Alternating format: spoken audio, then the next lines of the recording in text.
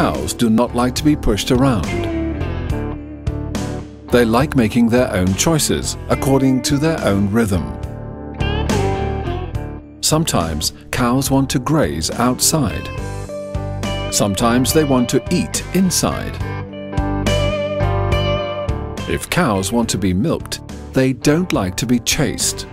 Cows like an easy entrance to the robot. They want enough room to maneuver. They love being treated gently during cleaning and milking. Cows like the company of the herd while being milked.